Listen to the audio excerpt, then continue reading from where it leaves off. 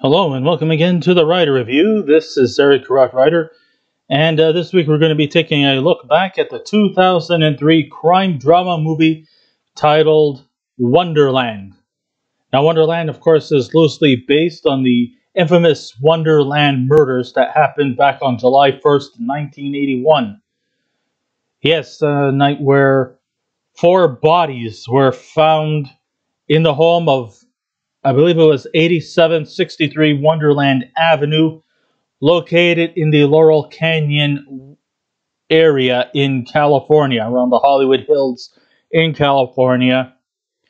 And some people have often dubbed it as one of the most one of the most heinous crimes since the Tate LaBianca murders due to the Manson family.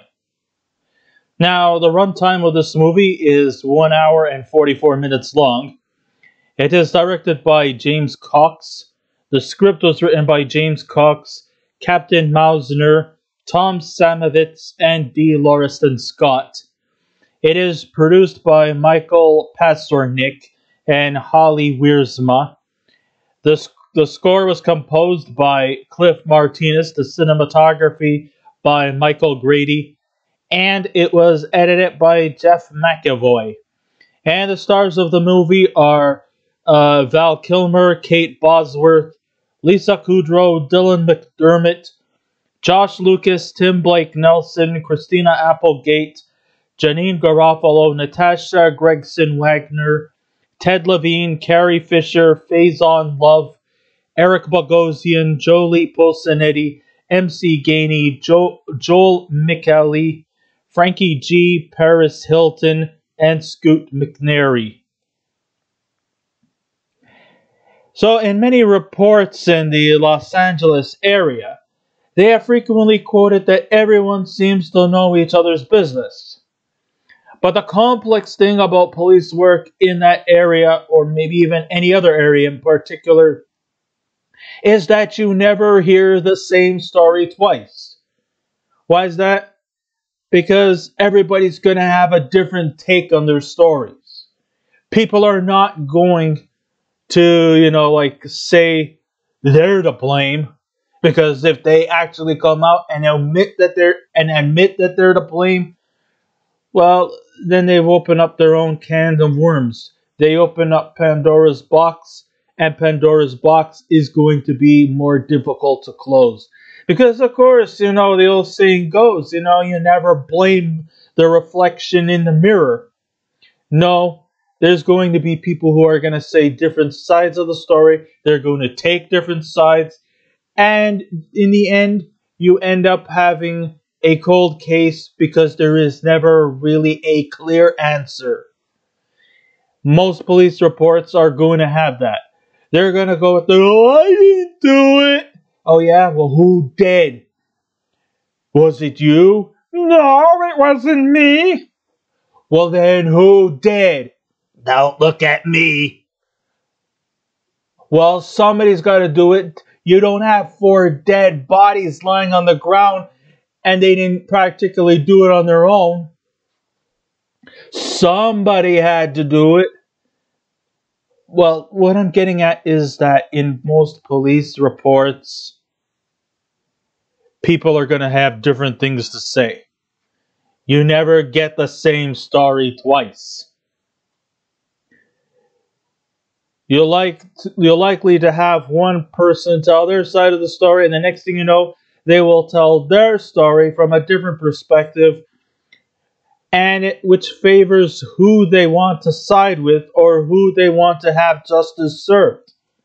But this is also what makes this movie stand out. Now, I'm not actually going to praise this movie because there's a lot of flaws in this movie, but one there is a few idiosyncrasies that makes this movie stand out is that even we, the audience, can pick a side. We get to actually choose who actually is the guilty one. And just like as I mentioned before, the same story is never repeated. But through the suspects And though the, the suspects may be biased by means of selfishly saving their hides from potential long term jail sentences, one thing you can always guarantee on a cop knows their suspect's identity, their locations, and who they're associated with. There is no hiding from them when they are on the run. So you could say all kinds of things like this person did it, or that person did it, or you, me, everyone. Of course, it's never yourself. No. If you go out and blame yourselves, you might as well just you may as well just throw yourself in jail and throw away the key. You may as well just do your own self-made incarceration. You don't want that now, do you? No, nobody does. But yeah, yeah, uh, uh, when it comes to police reports and interrogations, everybody will have a different thing to say.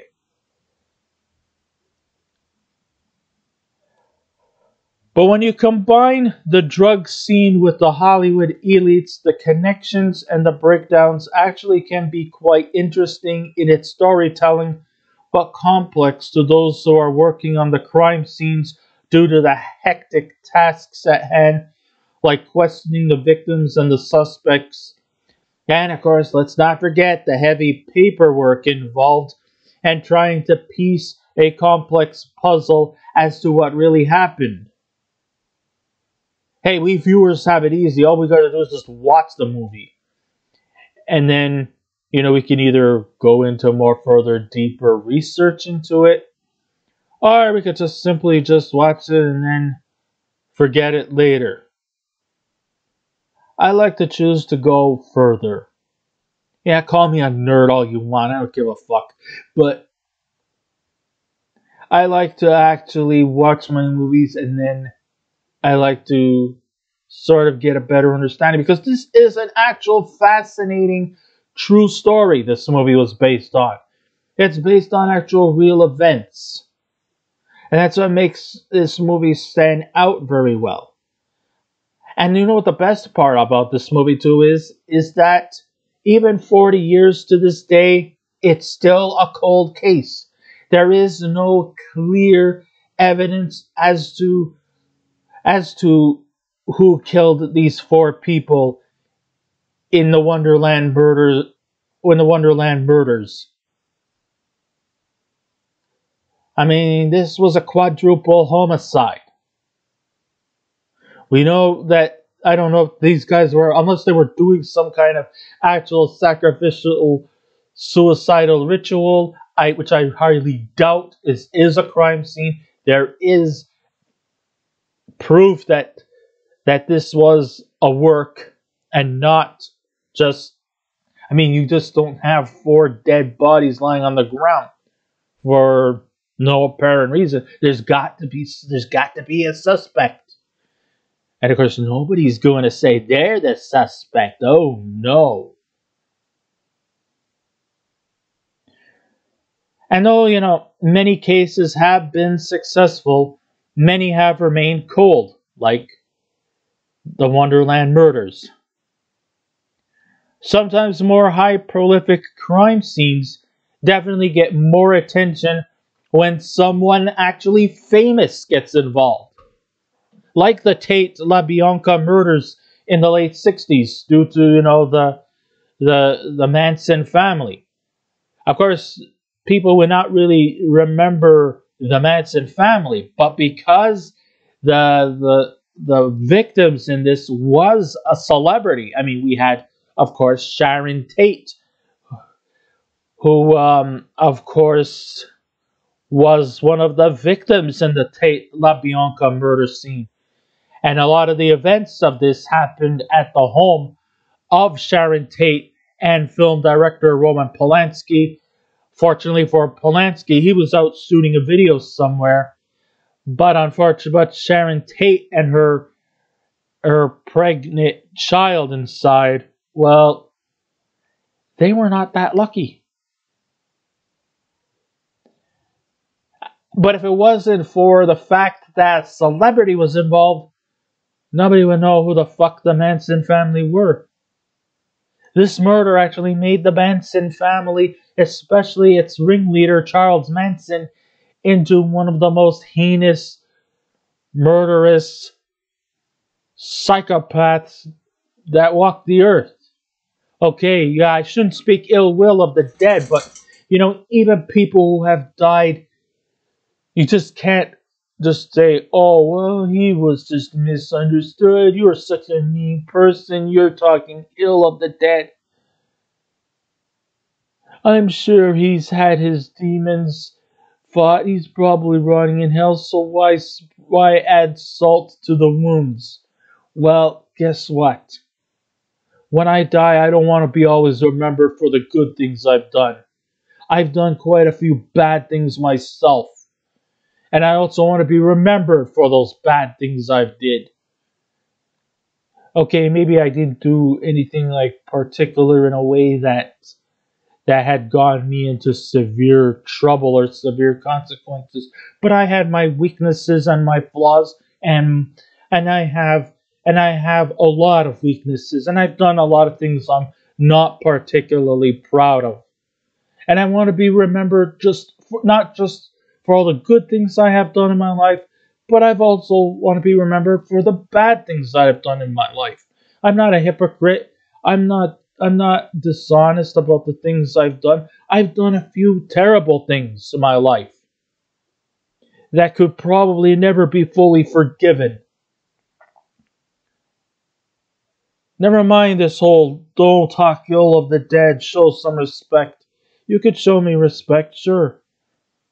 But you just don't have to coddle about all about oh he wasn't so bad. No, I wasn't so bad, but I wasn't all 100% a saint either. That's kind of like what I'm trying to get at. Like I said, the Manson family would have never been known had it not been for the fact that a celebrity was involved in this crime scene. You know, just like the O.J. Simpson trial. If it would have been just some average individual, nobody would have given out a fuck. But because this was O.J. fucking Simpson, the O.J. Simpson trial became kind of like the crime, the court case, the court case of the of the late 20th century. So, you know, just by having a celebrity involved in a crime scene will get definitely more exposure than somebody who is not a well-known celebrity.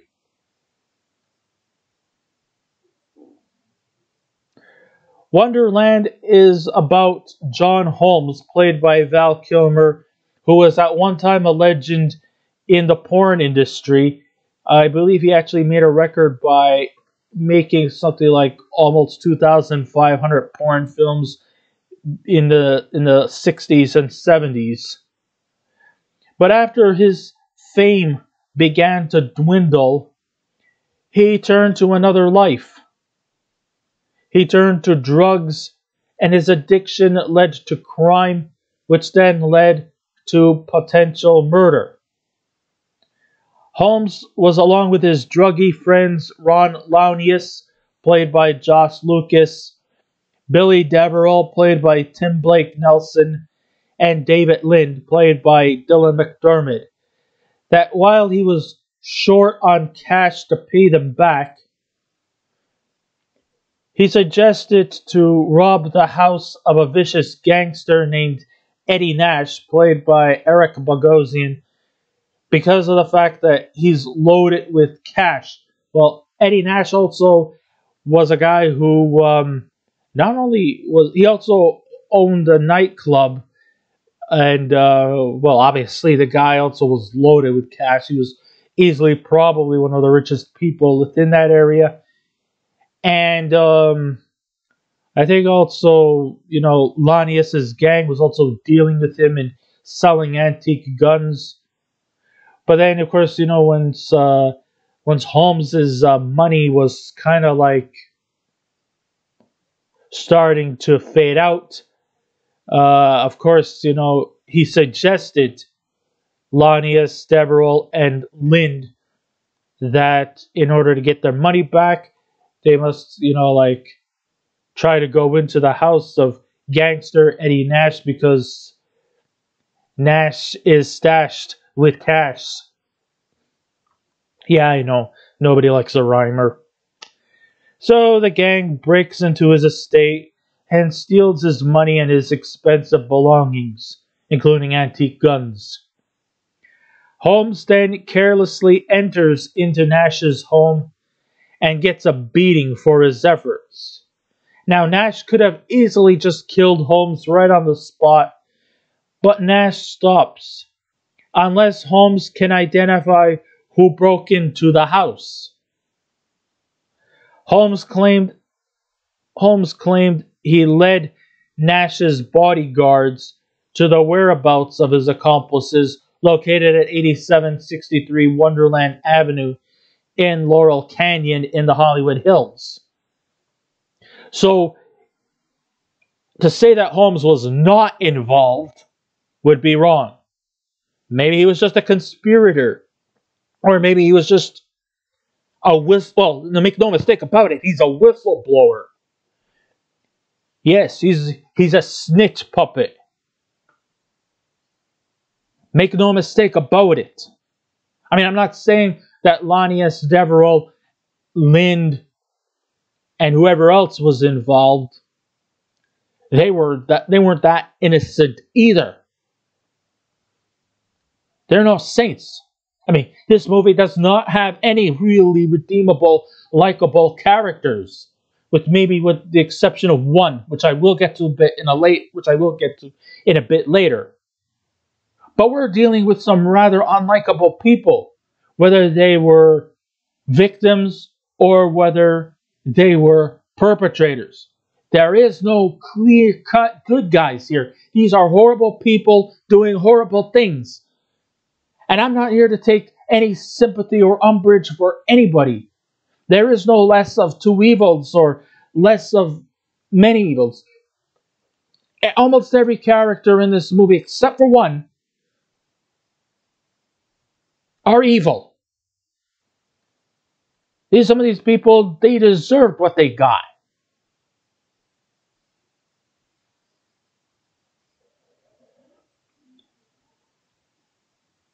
So, so make no mistake about it, John Holmes is a snitch.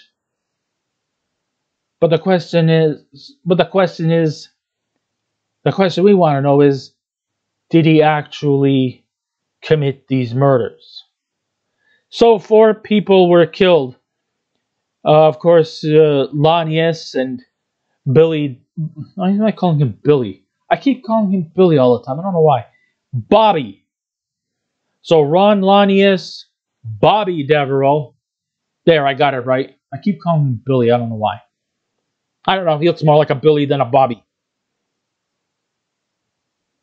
All right, we also had uh, Lind's girlfriend, Barbara Richardson, played by Natasha Gregson Wagner, and the leaseholder of the house and Deverell's girlfriend, Joey Miller, played by Janeane Garofalo, all four of them were beaten to death with uh, with the assistance of Nash's bodyguards. Well, instead of using guns, because that would be too messy,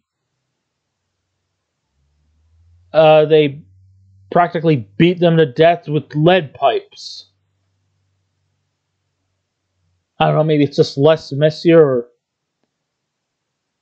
or at least guns are are like easy targets for fingerprints. So I guess lead pipes would be the better bullet. okay, I, I why am I even laughing? This is not funny at all. This is fucking serious here. Know, yeah, all four of these people were dead. Launius, Deverell, Lind's girlfriend, Barbara Richardson, the leaseholder of the house, and Deverell's girlfriend, Joy Miller, all of them dead on the floor. only Susan Launius, which was uh, Ron's wife, played by Christina Applegate, she's the only one who survived. Oh, don't worry, the detectives tried to question her, but she was practically incoherent in the things she said. And we just really couldn't make out because she's like semi catatonic. And um, so she wasn't really much of a help, unfortunately.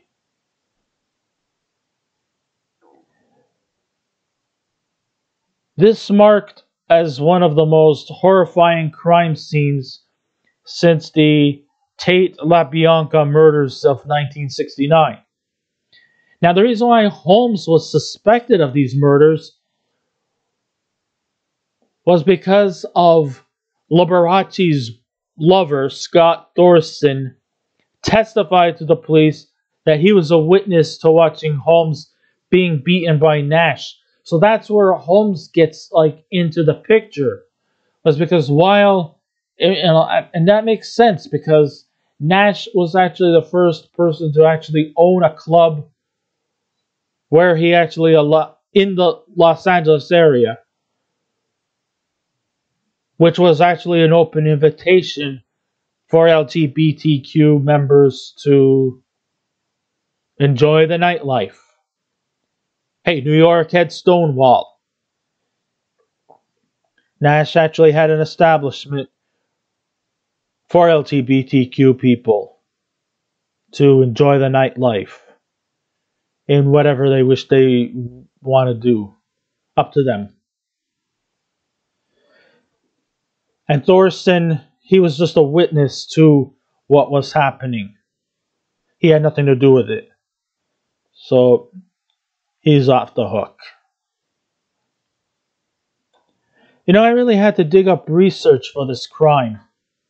Because after watching Wonderland, to be honest with you, I know I've been praising this movie quite a bit, but to be honest with you, this movie could have been a lot better. But I but when I was watching the movie Wonderland, I had no idea what I was watching. A lot of the stuff about the Wonderland murders was mostly from my research because the movie didn't really do justice. Until then, the only thing I knew was that Holmes was convicted of the man who planned the murders and that Eddie Nash was acquitted of the murders and kind of lived his life until his death in 2014 at the age of 85. I mean, it's not to say that Eddie Nash lived a free life. No, he was convicted of several smaller misdemeanors, but was never really ever convicted of the Wonderland murders.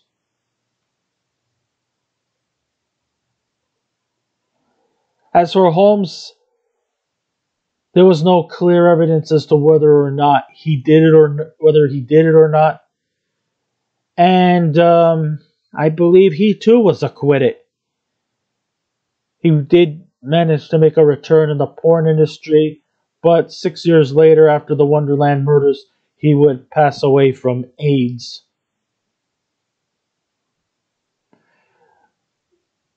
We hear different sides from other stories. Um, I bet you're wondering, like, okay, I talk about that Launius dies and Deverell dies, and you know, um, Lind's girlfriend and Joy Miller, who was Deverell's girlfriend, they all perished. Susan Launius was the only one who survived. But then you have to ask yourself, where was David Lind? Well, apparently David Lind wasn't at the home at the time. I don't know where he was, but he wasn't home when this he wasn't at the home when this happened, so that doesn't necessarily mean he was off the hook, but he does actually get to tell his side of the story, and he firmly believes that John Holmes was was one of the people who was involved in this quadruple homicide. But still, never the once do they admit that Nash sent his guards to commit the murders. The movie is deeply inspired by the movie Rashomon, in which they use possible suspects to tell their side of the story, one contradicting the other. It goes back again to the whole I'll say one thing and somebody will say something completely different. One person will try and weasel their way to pre- making them out as if they were innocent when really maybe they weren't. Everybody's going to tell a different side of the story. No stories ever repeat.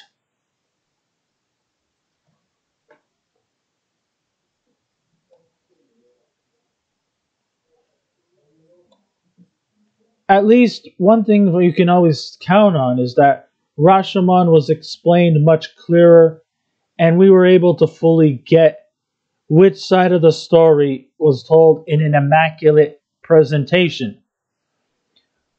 Wonderland seems to have a ball tapping into the timelines repeatedly with really no clear clarifications.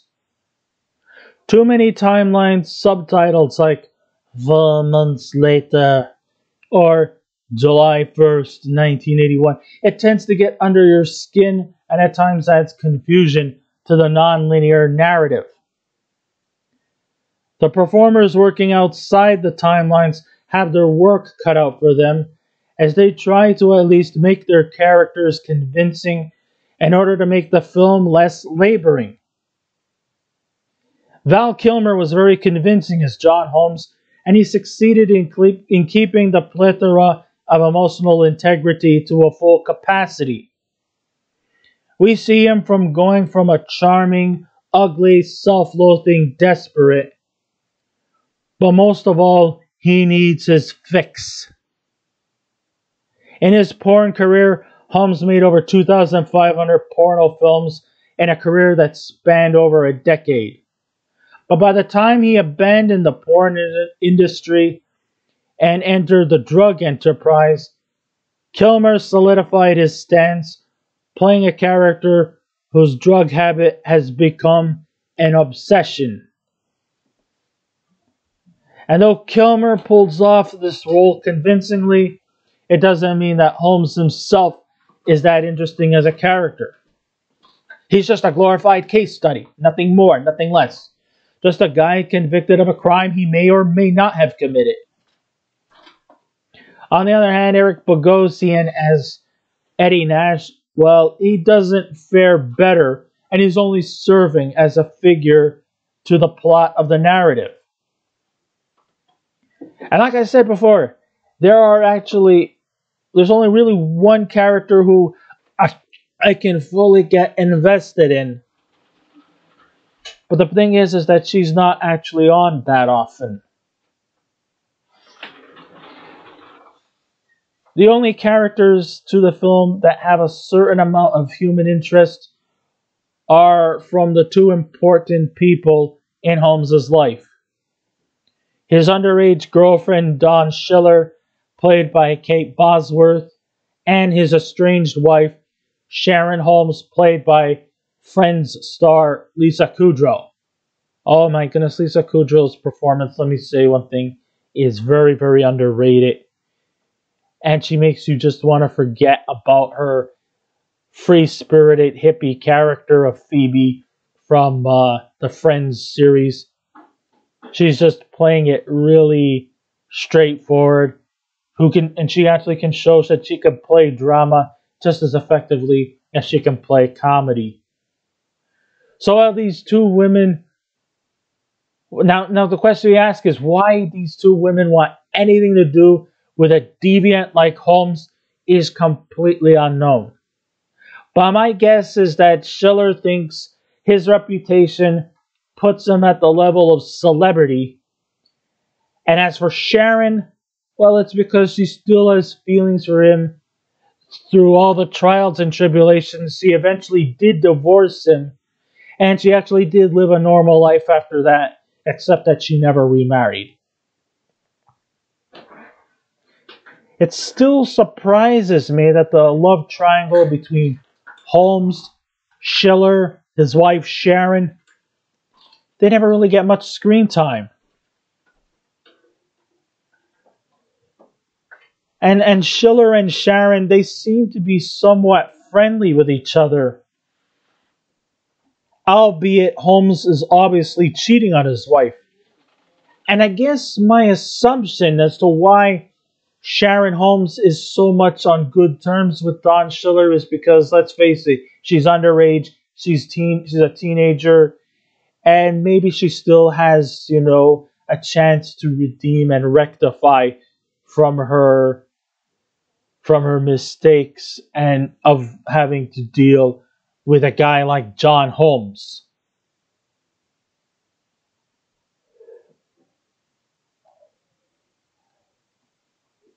And that I guess she kind of takes some level of of of sympathy and wants to probably want to lead her to the right direction and being with a deviant like John Holmes is not the way to go. I guess she just says, hey, you know, she's young, she's naive, she's gullible, she doesn't know any better, and I'm just trying to pave her into a more better direction than where she is now. She does not want to be, she does not want her life fucked up with people like John Holmes. He even tries to get the cops to place him under witness protection with his wife and his girlfriend. Like I said before, Kudrow plays the best performance here, even when he desperately needs her for help, and she abruptly refuses it. It was magic. My guess is that she's the only real adult in this picture as I mentioned before, she is the only one who I could probably say is the most sincere. Partially because of the fact that she's a nurse, and secondly, she's also because she's straight edge. She doesn't get involved in any illegal or any kind of action that Holmes is. She keeps to herself, and she's the only person who seems to be the only one with a steady head over her shoulders. Nobody else in this movie has that kind of idiosyncrasy. Only her. She's the only person who can probably confess to things in a more cognitive way. And guess what? We actually can believe for everything, every word that comes out of her, and we want to. I don't think we could really try to say that about David Holmes' story or or or John David Lind's story or John Holmes' story.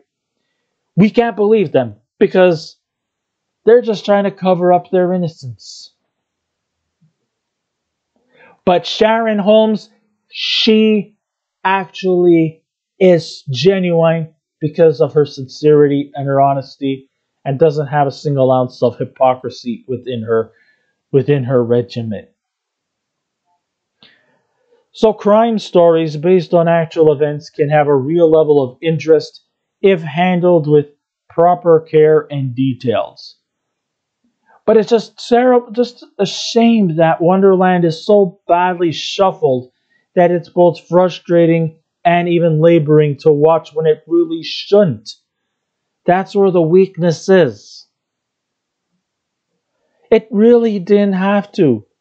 If they would have been more linear in their stories and that we can actually easily get ourselves invested in the already complex story of the Wonderland murders, maybe things would have been a lot better. But when it comes down to it, I think I'll watch the superior and more fun Boogie Nights instead, which focuses on John Holmes, aka Dirk Diggler. And it looks more into his life a little bit better. Sure, it doesn't look at him as the druggie, but more like the laid back party animal porn star. But it's definitely more superior than Wonderland. I wanted Wonderland to be a superior movie, but it just falls short because of the, I guess, because of the editing, which was poor, the directing was poor, and it just it it should have not been so muddled. If it was a little less muddled, I would have been more invested in this movie. So when all said and done, if I was to give this movie a scale out of 10, I would give Wonderland.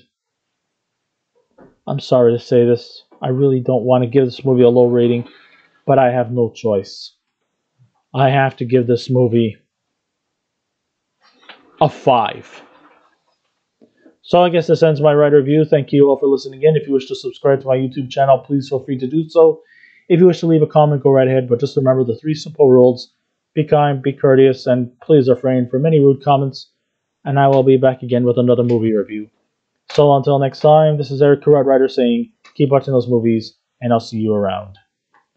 Goodbye.